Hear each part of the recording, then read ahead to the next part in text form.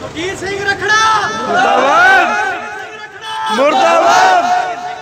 ਮੁਰਦਾਬਾਦ। ਸਰਕਾਰ ਮੁਰਦਾਬਾਦ। ਮੁਰਦਾਬਾਦ। ਮੁਰਦਾਬਾਦ।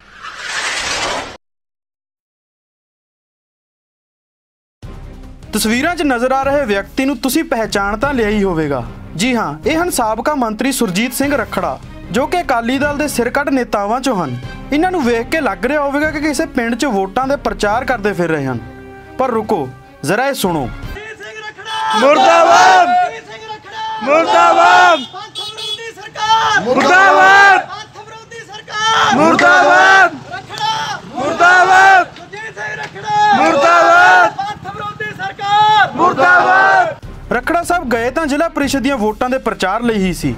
ਪਰ ਜਿਵੇਂ ਹੀ ਪਟਿਆਲਾ ਦੇ ਸ਼੍ਰੋਮਣੀ ਅਕਾਲੀ ਦਲ ਦੇ ਸਾਬਕਾ ਮੰਤਰੀ ਸੁਰਜੀਤ ਸਿੰਘ ਰਖੜਾ ਪਿੰਡ ਸ਼ੇਰ ਮਾਜਰਾ ਵਿਖੇ ਪ੍ਰਚਾਰ ਲਈ ਪਹੁੰਚੇ, ਤਾਂ ਲੋਕਾਂ ਨੇ ਕਾਲੀਆਂ ਝੰਡੀਆਂ ਨਾਲ ਸੁਰਜੀਤ ਸਿੰਘ ਰਖੜਾ ਨੂੰ ਵਾਪਸ ਮੋੜ ਦਿੱਤਾ ਤੇ ਮੋੜਿਆ ਵੀ ਇਸ ਤਰ੍ਹਾਂ ਕਿ ਉਹ ਕਦੇ ਭੁੱਲ ਨਹੀਂ ਸਕਣਗੇ। ਵੀਡੀਓ 'ਚ ਸਾਫ਼ ਦੇਖ ਸਕਦੇ ਹੋ ਕਿਸ ਤਰ੍ਹਾਂ ਪਿੰਡ ਦੇ ਕੁਝ ਨੌਜਵਾਨਾਂ ਨੇ ਉਹਨਾਂ ਦੀ ਗੱਡੀ ਦੇ ਸਾਹਮਣੇ ਆ ਕੇ ਗੱਡੀ ਘੇਰ ਲਈ ਤੇ ਨਾਰੇ ਲਗਾਉਣ ਲੱਗੇ, ਜਿਸ ਦੇ ਚੱਲਦਿਆਂ ਸੁਰਜੀਤ ਸਿੰਘ ਰਖੜਾ ਨੂੰ ਆਪਣੀ ਸਿਕਿਉਰਿਟੀ ਅਤੇ ਸਾਥੀਆਂ ਸਮੇਤ ਪੈਦਲ ਹੀ ਉੱਥੋਂ ਭੱਜਣ ਦੀ ਪੈ ਗਈ।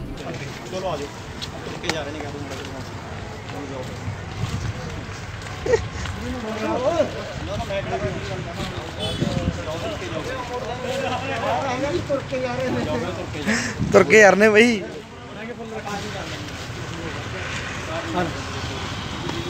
ਬਣਾ ਦੀ ਬਣਾ ਦੀ ਪੂਰੀ ਬਣਾ ਕਹਿ ਕਰ ਖੜਾ ਤੁਰ ਕੇ ਜਾ ਰਿਹਾ।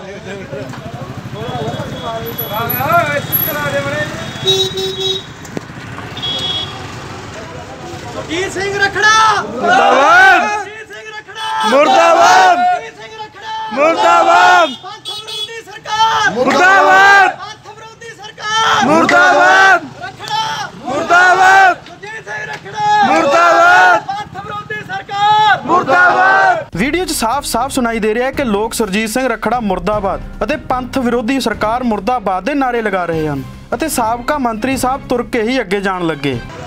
ਸੁਰਜੀਤ ਸਿੰਘ ਰਖੜਾ! ਮੁਰਦਾਬਾਦ! ਸੁਰਜੀਤ ਸਿੰਘ ਰਖੜਾ! ਮੁਰਦਾਬਾਦ! ਸੁਰਜੀਤ ਸਿੰਘ ਰਖੜਾ! ਮੁਰਦਾਬਾਦ! ਪੰਥ ਵਿਰੋਧੀ ਸਰਕਾਰ! ਮੁਰਦਾਬਾਦ ਪੰਥ ਵਿਰੋਧੀ ਸਰਕਾਰ ਮੁਰਦਾਬਾਦ ਰਖੜਾ ਮੁਰਦਾਬਾਦ ਸੁਰਜੀਤ ਸਿੰਘ ਰਖੜਾ ਮੁਰਦਾਬਾਦ ਜਸਟਿਸ ਰਣਜੀਤ ਕਮਿਸ਼ਨ ਦੀ ਰਿਪੋਰਟ ਵਿਧਾਨ ਸਭਾ 'ਚ ਪੇਸ਼ ਹੋਣ ਤੋਂ ਬਾਅਦ ਹੀ ਅਕਾਲੀ ਦਲ ਦੇ ਵੱਡੇ ਨੇਤਾਵਾਂ ਦਾ ਪਿੰਡਾਂ 'ਚ ਲੋਕਾਂ ਵੱਲੋਂ ਤੇ ਸਿੱਖ ਜਥੇਬੰਦੀਆਂ ਵੱਲੋਂ ਵਿਰੋਧ ਕੀਤਾ ਜਾ ਰਿਹਾ ਹੈ।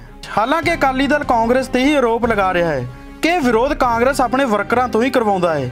ਬੇਅਦਬੀਆਂ ਦੇ ਸਵਾਲਾਂ 'ਚ ਘਿਰੀ ਅਕਾਲੀ ਦਲ ਨੇ ਕਿਤੇ ਨਾ ਕਿਤੇ ਲੋਕਾਂ 'ਚ ਆਪਣੇ ਵਰਚਸਵ ਨੂੰ ਖੋਇਆ ਜ਼ਰੂਰ ਹੈ। ਪਰ ਹੁਣ ਅਕਾਲੀ ਦਲ ਲਗਾਤਾਰ ਰੈਲੀਆਂ ਕਰ ਆਮ ਲੋਕਾਂ 'ਚ ਮੁੜ ਆਪਣੇ ਆਪ ਨੂੰ ਖੜਾ ਕਰਨ ਦੀ ਜਦੋਜਹਿਦ 'ਚ ਜੁਟੀ ਹੈ। ਇਹ ਤਾਂ ਹੁਣ ਆਉਣ ਵਾਲਾ ਸਮਾਂ ਹੀ ਦੱਸੇਗਾ ਕਿ ਅਕਾਲੀ ਦਲ ਆਪਣੇ ਇਸ ਮਕਸਦ 'ਚ ਕਿੰਨਾ ਕੁ ਕਾਮਯਾਬ ਹੋਵੇਗਾ। ਪਟਿਆਲਾ ਤੋਂ ਅਮਰਜੀਤ ਸਿੰਘ ਦੀ ਰਿਪੋਰਟ, ਚੜ੍ਹਦੀ ਕਲਾ ਟਾਈਮ ਟੀਵੀ।